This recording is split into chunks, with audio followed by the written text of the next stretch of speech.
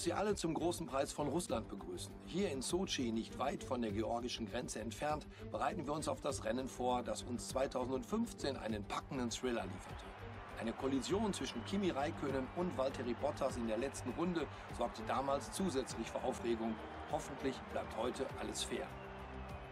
Das an der Schwarzmeerküste erbaute Sochi-Autodrom ist eine 5,8 Kilometer lange Strecke rund um einige der Austragungsorte der Olympischen Winterspiele 2014. Die Strecke ist, was Überholen angeht, sehr schwierig, denn an vielen Ecken ist es extrem eng. Allerdings gibt es auch viele schnelle Passagen. 56 Prozent der Strecke werden mit Vollgas gefahren. Insgesamt muss man sagen, diese Bühne ist der Formel 1 würdig. Es ist mir eine große Freude, erneut von Stefan Römer unterstützt zu werden. Reden wir über Richter. Sie hatten ein großartiges Gesamtpaket und ein noch besseres Jahr und sie gehen dieses Grand Prix-Wochenende als verdienter Champion an. Da muss ich dir beipflichten, diese Saison war ziemlich beeindruckend. Aber Champion oder nicht, ich denke nicht, dass sie das Rennen heute ganz gemächlich zu Ende bringen. Ganz im Gegenteil. Da es nicht mehr länger um Punkte geht, muss nichts mehr riskiert werden. Daher glaube ich, dass wir uns sogar auf ein aggressiveres Verhalten einstellen können. Nach einem sensationellen Qualifying ist es nun Zeit, einen Blick auf die Startaufstellung für das heutige Rennen zu werfen. Richter startet aus der Pole Position und Valtteri Bottas steht daneben. Und in der restlichen Startaufstellung von heute haben wir Gasly, Verstappen, Lewis Hamilton und Leclerc, Vettel, Weber, Hülkenberg und Kevin Magnussen. Raikönen, Norris, Carlos Sainz Jr. und Ricardo. Grosjean, Albon, Devin Butler und Sergio Perez. Stroll und George Russell schließt die Startaufstellung ab. Jetzt, wo die Lichter jeden Moment ausgehen, wird es Zeit, zur Strecke zu schauen.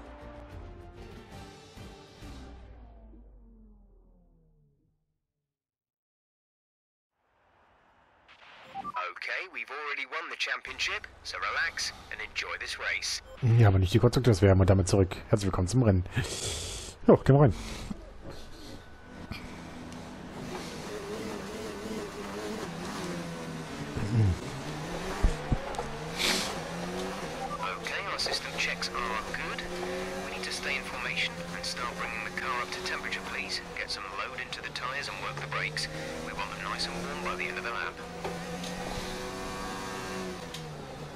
Gut, dass die zwei Red Bull dazwischen hängen, zwischen dem meinem Mercedes noch. Ja, kein Problem, wenn wir mit dem Podium stehen würden am Ende. Ich glaube, wir kommen wieder ein paar Punkte weg. Und es wird noch verdammt eng werden.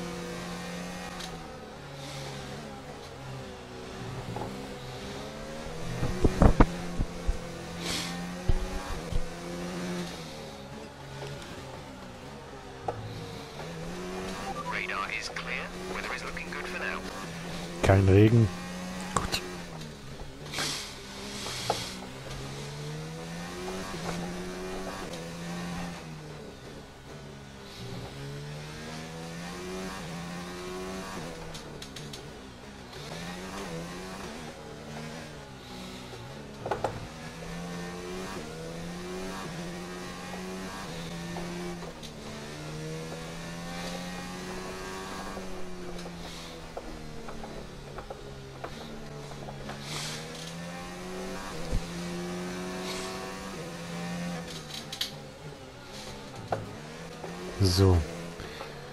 Schauen wir mal, ob wir unseren nächsten Sieg holen. Wir haben drei Rennen nicht gewonnen. Das müsste Rennen 17 sein. Dann sind wir 14 Saisonsieger. Oder 16, 16, dann wären wir bei 13. Also müssen wir mal gucken gleich. Ich habe tatsächlich nicht drauf geguckt, wie viele Rennen es ist.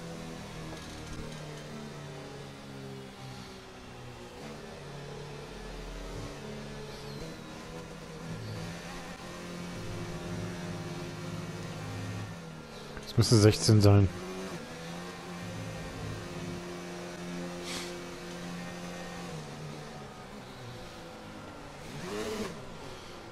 Müsste 16 sein.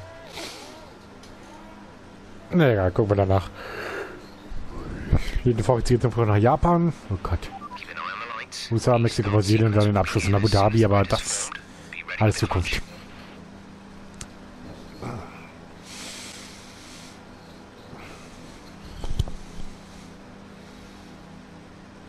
Na komm.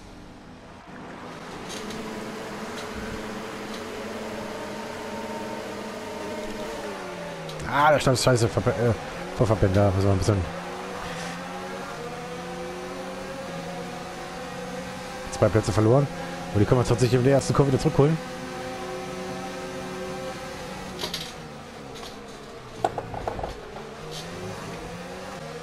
So, vorbei wieder. Und wieder vorne.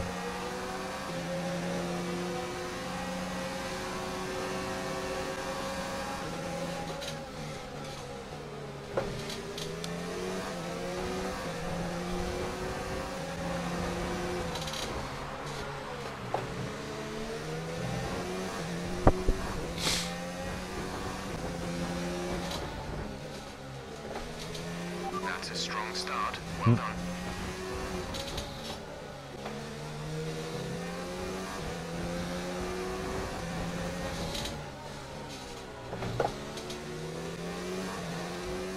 Dass wir das mal ein bisschen wegkommen können.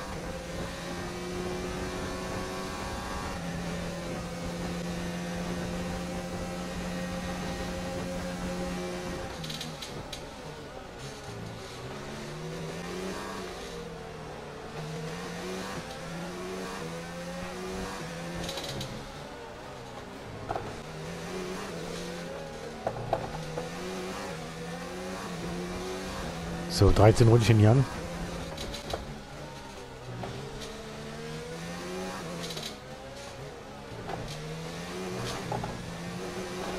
Ah, viel zu weit rausgekommen.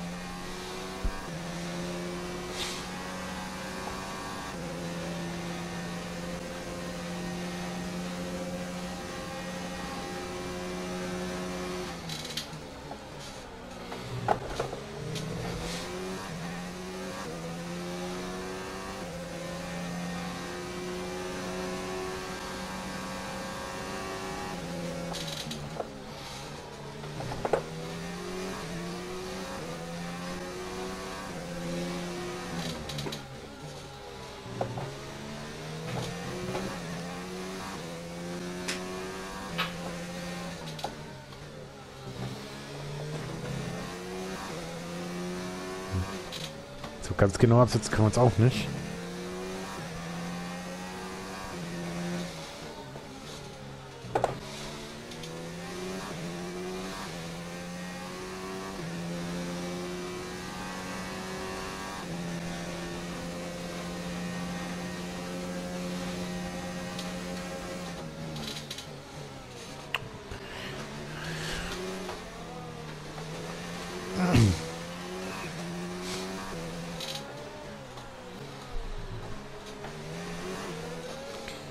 So.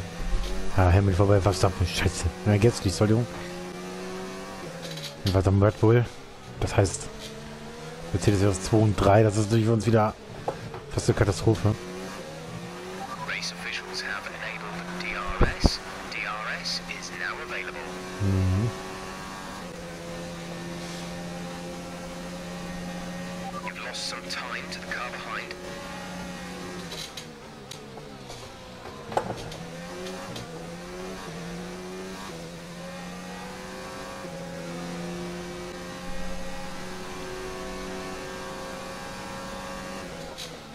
So.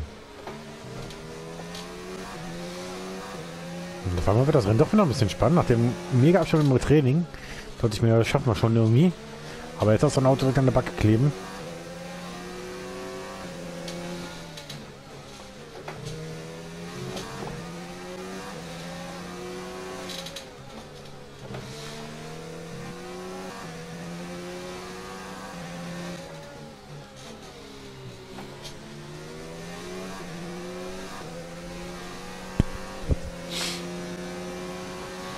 Und unser Teamkollege ist nicht in den Punkten.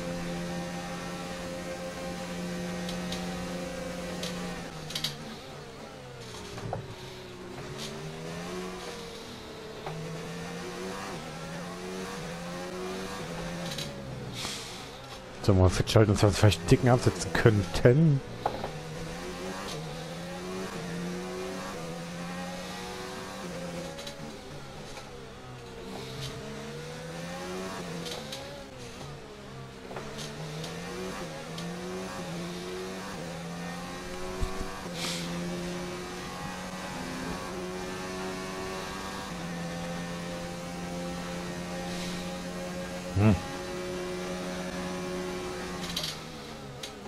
Nicht für Bottas, um vorbeizukommen? Gut.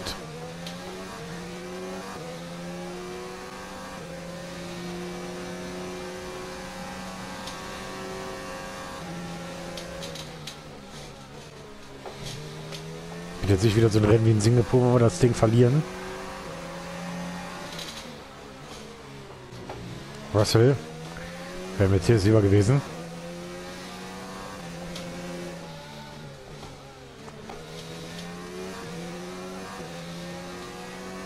Erster Ausfall, also ein Williams. Wie ist mein Mercedes-Motor? Aber keiner von den beiden hinter mir.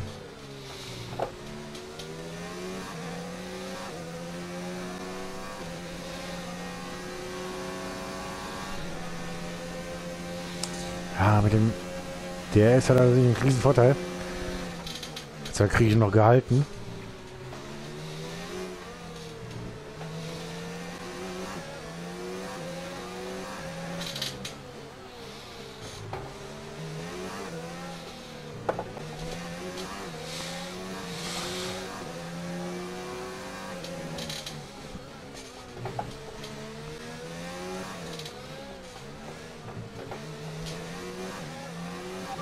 Approaching the pit window.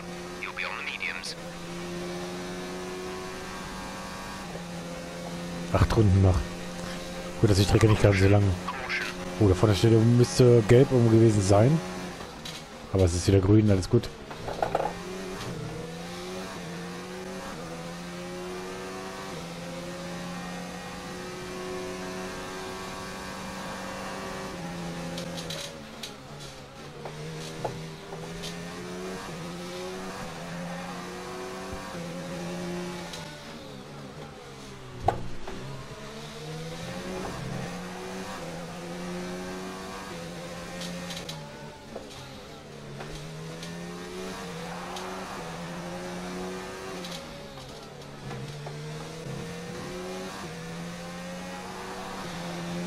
Mich konzentrieren, deswegen spreche ich relativ wenig, weil ich versuche halt, mich irgendwie dem Mercedes ein bisschen zu wehren.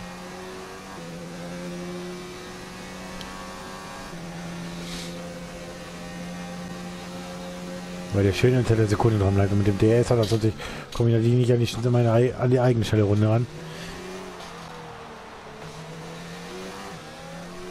Jetzt fehlt ja noch der Sieg und die schnelle Runde, um das wirklich ein perfektes Rennwochenende machen zu lassen. Oder werden zu lassen, so rum.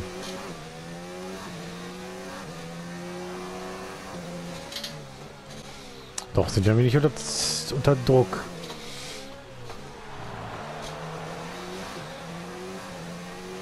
We're leading our teammate by 11.3 seconds. Hier kriege ich nicht mehr rausgerettet. Letzte Kurve. Gleich Halbzeit.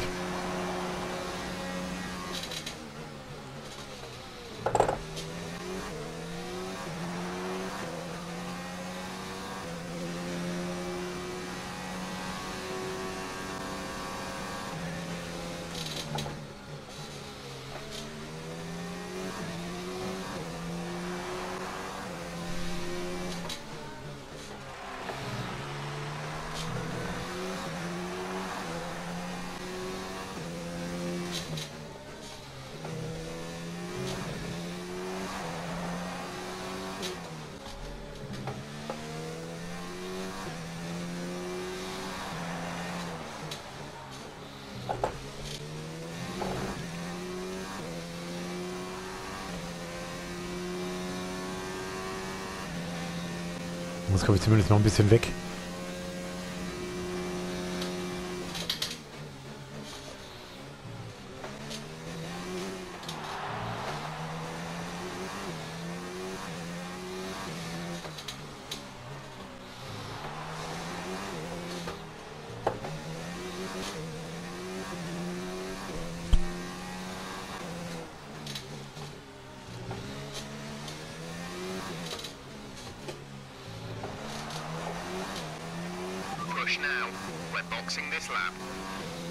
So, jetzt kommen wir aber weg. Jetzt haben wir eine- über eine Sekunde gewonnen, die Runde. So, jetzt in die Box. Auf Gelb gehen und gib ihm.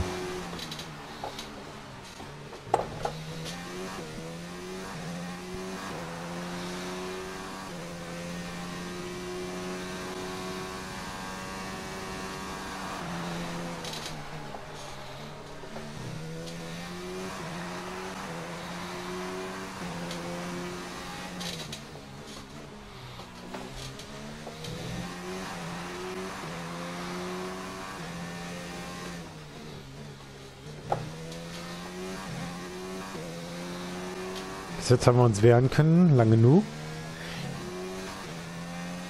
Fällt der mal weiter zurück, als wirklich ranzukommen.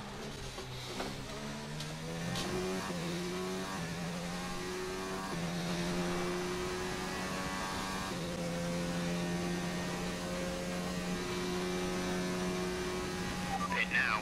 Pit now.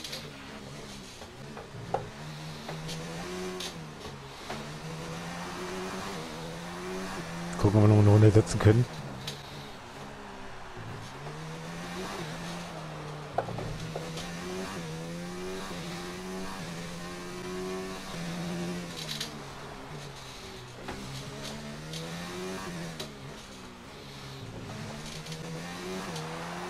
Yes! Das war nämlich genau das, was ich meine race. So, 1,9 mal eben, 4,22 mal 2,3 Sekunden, die wir hinterher gezogen haben. Jetzt gehen wir runter auf die Mediums und dann sind wir durch.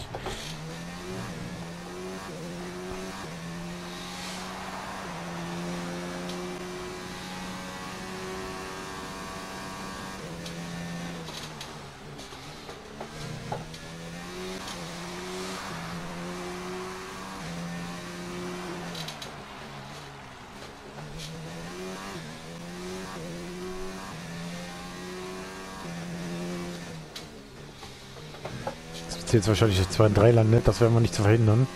Oder werden wir nicht verhindern können. Aber unsere Aufgaben können wir machen. Einzig unsere Aufgaben können wir machen.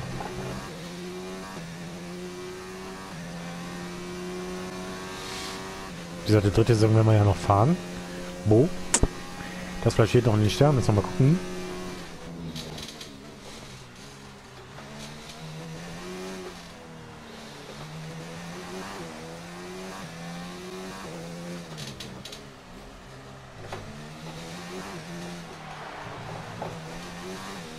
So, jetzt haben wir die Box.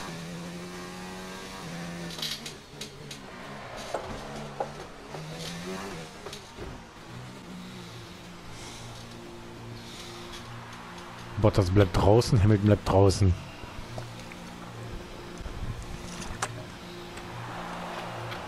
Quatsch, wieso ist der Bottas geht rein? Hamilton bleibt draußen.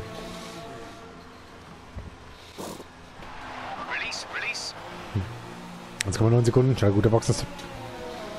Wir landen genau im Verkehr drin.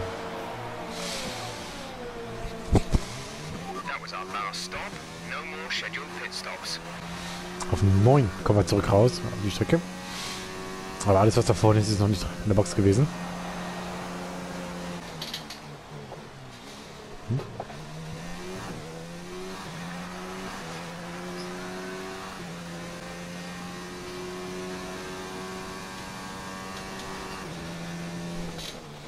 Vier Röntchen noch. Jetzt haben wir natürlich genau im Verkehr da vorne drin.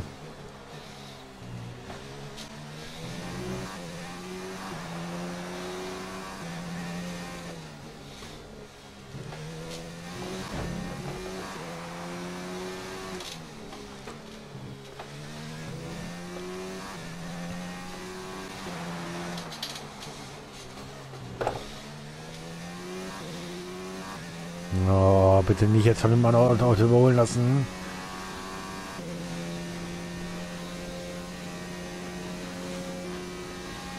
Jeder Punkt mehr als er könnte wichtig sein am Ende. Sainz verliert seinen Platz gegen Ricciardo. Wird natürlich jetzt auch durchgerollt, äh, durchfallen. Also durchgereicht nach hinten. Die jetzt in die Box.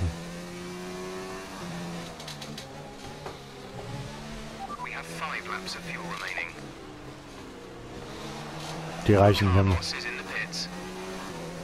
So, jetzt auch Hamilton in der Box.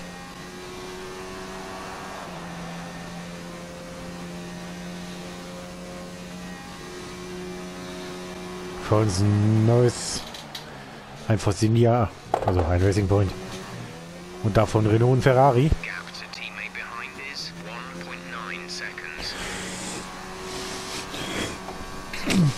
Gap Gott sei Dank ging das gerade so gut.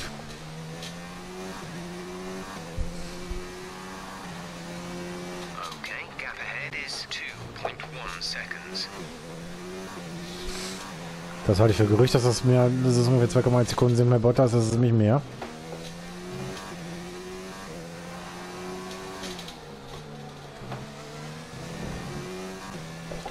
Uh, aufpassen, dass ich irgendwie abfliegen. Ich muss mir jetzt auch muss ja noch meine mein Fahren konzentrieren. Ich vor dem Zweikampf kann ich viel verlieren. Drei Runden haben wir noch. Naja, Vettel ist klar. Das interessiert mich aber nicht. Der war noch nie, war noch nie in der Box, genau wie die anderen drei da vorne.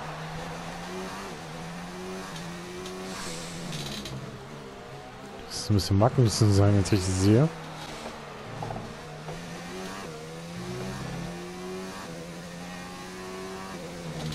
Der erste geht jetzt rein. Das ist Norris.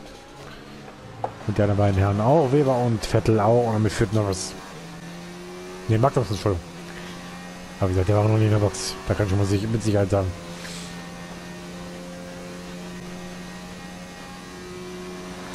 Vorsprung auf 7,2 Sekunden.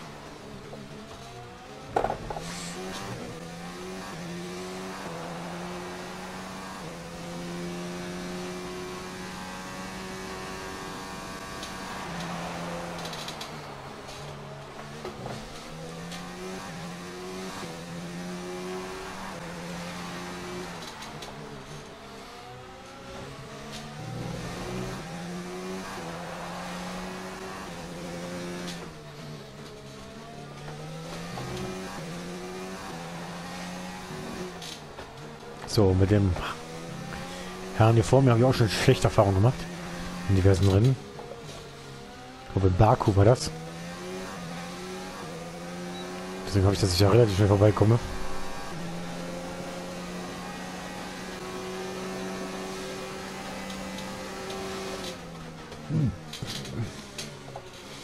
Das ist es halt, ne? Es stört hier und so. Da muss ich aber vorbeikommen.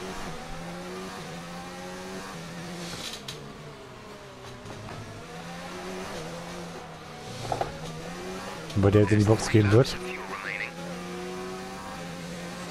Das heißt, ich muss mich gar nicht mit dem rumschlagen, das ist auch gut so.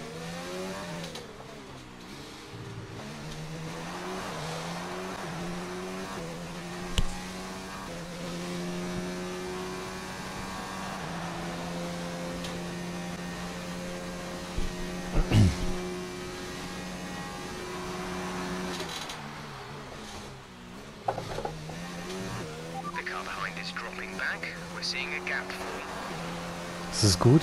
Vorletzte Runde nun schon. Also viel haben wir nicht mehr zu fahren.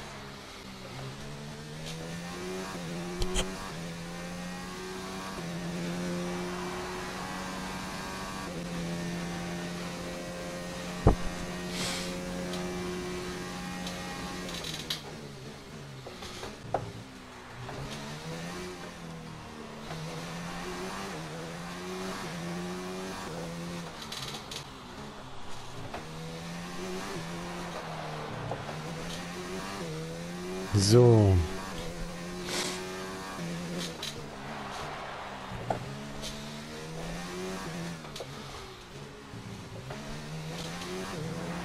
Letzte Runde.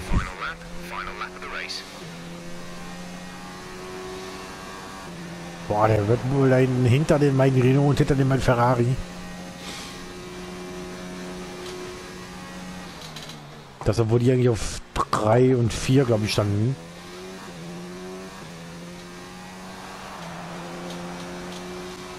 Und dann trennt jetzt wirklich noch die letzte Runde hier vor vom wirklich perfekten Wochenende. Und dann gibt es nächste Woche nach Japan zum äh, 17. Saisonrennen.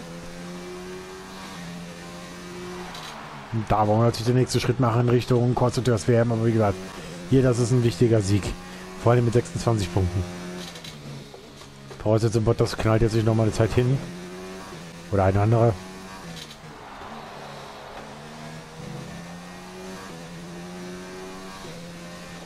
Jetzt Kurven.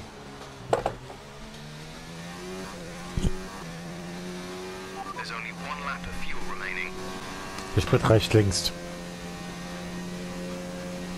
Jetzt hier nochmal rechts um die Tunnel, durch den Tunnel.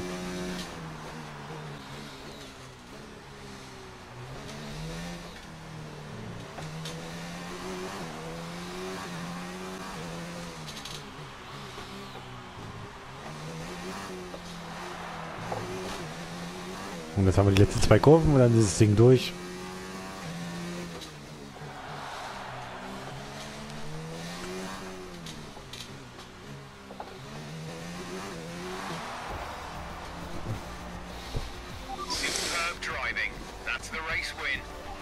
Yes! Ein mehr als perfektes Rennwochenende. Es war teilweise ein hartes Rennen, aber Ja, hart war's nicht. Wie geht's? Wobei am Anfang war es hart gegen ja, gegen Bottas, weil er dann hinter mir hing die ganze Zeit. Aber danach konnte ich mir ja durchsetzen, kurz vom Boxenstopp. Danach war ich ja weg. Römer, was denkst du, wie sie dieses Resultat erzielen konnten? Es ist eine etwas langweilige Antwort, aber die Wahrheit ist, dass sie einfach das bessere Tempo an diesem Tag hatten und einen Fahrer, der weiß, wie man das ausnutzt. Es spielt keine Rolle, wie lange du über Statistiken brütest und Strategien planst, wenn du das Tempo nicht halten kannst. Unsere Gewinner heute haben gezeigt, dass sie beides konnten.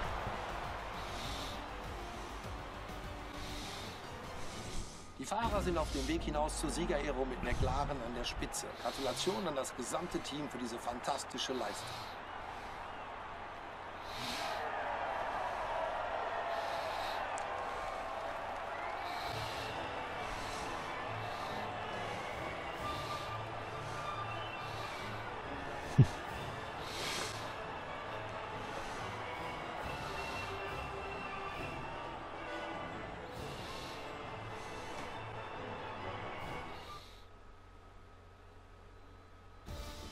Also Stefan, lass uns darüber sprechen, wer heute zu den Kandidaten für den Fahrer des Tages zählt.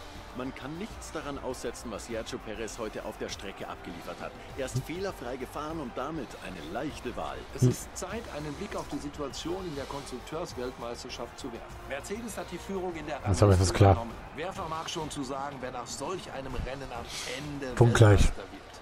Seien Sie auch nächstes Mal wieder dabei, wenn wir Ihnen das neueste Rennen der Formel 1 nach Hause servieren. Hm. Williams und Torres und noch ohne jeden Punkt. Na gut. Und dann war es das mit dem Rennen aus Russland.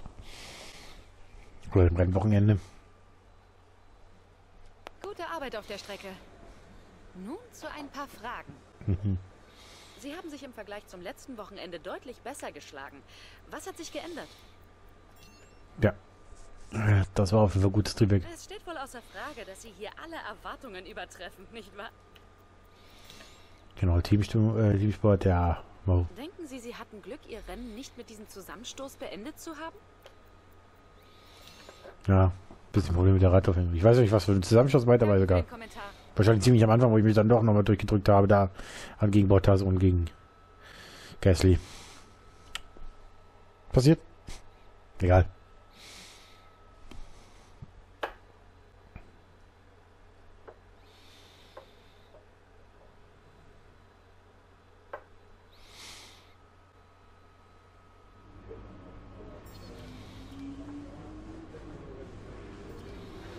Ich scheiß auf. Ja, Drehprogramme. Tolle Arbeit an diesem Wochenende. Dich auf dem Treppchen zu sehen, macht mich stolz.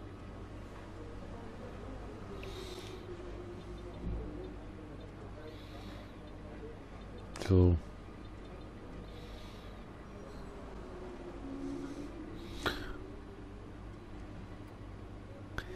Machen wir es so. Bist du dir sicher, dass Ja. du überhaupt nicht verhandeln Nö, möchtest? bin zufrieden. Gut, das ist natürlich deine Entscheidung. Aber ich persönlich würde auf jeden Fall versuchen, mit dem Team zu verhandeln. Ein Versuch wäre es ja wert, findest du nicht?